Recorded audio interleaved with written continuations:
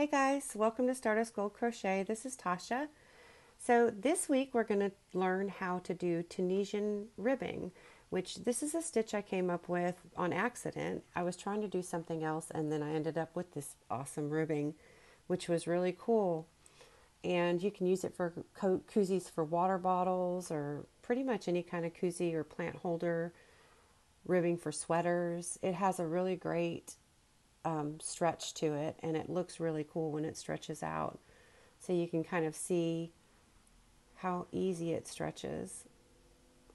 And there wasn't any stitch out there like this, so I even bought a couple books just to see if it was in the books, and it wasn't. So here we go, let's do this. Get your double ended Tunisian crochet hook, either a 5.5 millimeter or a J hook, which is 6 millimeter. I used I Love This Cotton which I found at Hobby Lobby, and it's called Brights, which has a really neat rainbow kind of ombre. For the tutorial, I'm going to use this curry color, which is the yellow, but I'll list all the other colors in the blog post, which you can find a link down in the description. You will need a measuring tape and some scissors. And you can see you want to measure from the bottom of your whatever you want to wrap it around to the top. So these were uh, ended up measuring about four and three quarters of an inch. So let's get started. Grab your hook and your main color, which I'm using canary for the main color. And we're going to do a slip stitch just like normal and with Tunisian crochet, you kind of cast on your stitches. So I'm going to go ahead and chain about 20, which is what I used actually for these koozies. So if you want to make them the same size, you can chain 20 like I did. So for Tunisian crochet, you're going to insert your hook into each chain. You don't need to do 21 chains, just 20 and it'll be your final count. So insert your hook into the chain, yarn over, and pull up a loop. And you do that down the entire length of the chain. So insert your hook into the chain, yarn over, and pull up a loop.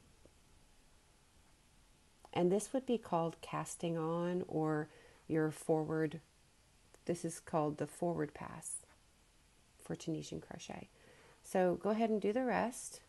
And here you see I've got my 20. So you count them 1, 2, 3, 4, 5, 6, 7, 8, 9, 10. And there's 20. So however many chains you create is exactly how many stitches you'll have. Now the difference between this stitch and many other Tunisian crochet stitches is we're not going to add our yarn on this side. We're going to actually turn it. So you're going to turn your hook and then you're going to slide all the stitches down to the other end. And when you're ready, you go ahead and you can add your contrasting color, which in this case I used the Prince. You can use any ombre color or any solid. So you yarn over and then you're going to pull through the first vertical bar. And then you're going to chain one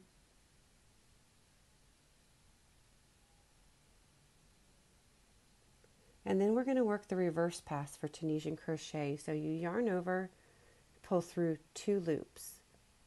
Yarn over and pull through two loops.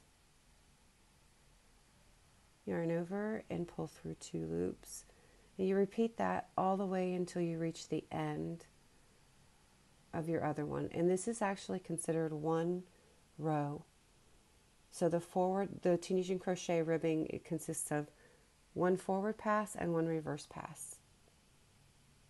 So here I'm at the end and that loop always gets a little loose so just tug on it. Then yarn over and pull through two and yarn over and pull through the last two. You should have 20 vertical bars and the edging, that's what your stitch is going to look like. The very right side vertical bars is called your edging and that's your edge stitch. So here you're going to go back, grab your main color, and let the contrasting color just fall down behind it. And then you're going to insert your hook into the second vertical bar, not the first one. Yarn over and just pull up a loop. And you're going to do a forward pass by inserting your hook into each vertical bar, pulling up a loop.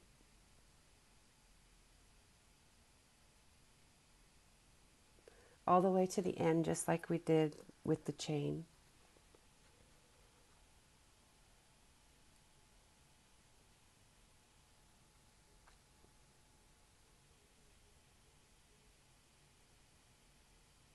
and keep your tension pretty even. So here you can see sometimes the little stitches kind of hide.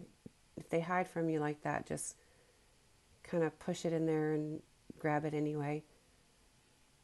And then we're coming up to the end here. And this is where you're going to go into the other edge, which is two loops. You want to go through the two loops on that edge. and then you're going to yarn over and pull up a loop just like before. There you go. So when you count your vertical bars here, you should have 20 vertical bars on your hook, including the, the blue one over there on the end. so you're going to turn it, and now we're going to work a reverse pass with the contrasting color. So with this stitch, you're always working the forward pass with your main color and you're always working the reverse pass with your contrasting color. So yarn over and pull up a loop, yarn over, pull through two, yarn over, pull through two, yarn over, pull through two, and keep repeating that until you reach the other side. And that's the complete pattern. That's what you'll be doing to create the entire ribbing stitch which is really simple. So there you go. So all you do is you just keep repeating that until you reach the desired length that you want. And you'll be able to, um, you can make these as wide as you want, as long as you want, however you'd like it. And the written pattern will be on my blog, of course. Okay, so here we're going to join and we're coming up to the end, so I'm going to yarn over and pull through two until I get to the last one loop on my hook. So there's that one. Then go ahead and tighten up your main color. And we're going to join the two sides together, but go ahead first and cut your contrasting color just to get it out of the way there ends up being a lot of tails. Well, actually, there should be about four tails with this project, but sometimes they get a little twisted around. So to close off our main color row, we're going to go ahead, grab up the main color and just do a slip stitch or a chain through the last stitch and then pull it tight. And then we're going to work with the main color to close it. This is reversible, so either side, it doesn't matter. But just go into the very first visible bar that you see.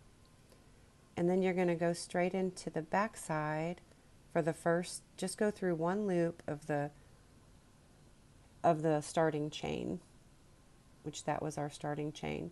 And then grab it and pull through, just do a slip stitch to close both sides. Oops. So go through the first vertical bar and then through the first stitch and then go ahead and pull through to close it and then just repeat that all the way down and of course if you decide you'd like to sew this instead of um, close it up like this you're more than welcome to either way will work fine they both create a pretty clear clean edge and a pretty invisible um, stitch. I tried it both ways actually. So just keep going through your vertical bar, go through one loop of the starting chain.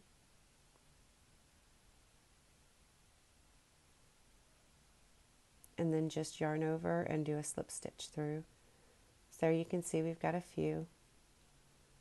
So So just keep repeating that all the way until you close it. And when you reach the end, we're going to go through the edge stitch like we did before and then close it up by going through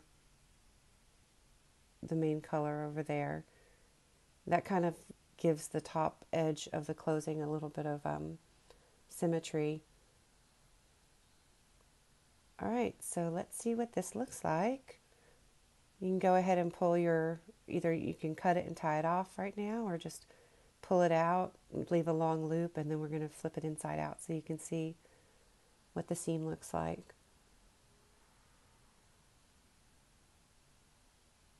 And you can't really see it. It's a little bit thicker than the other ones, but like I said, however you want to join this and close it is up to you.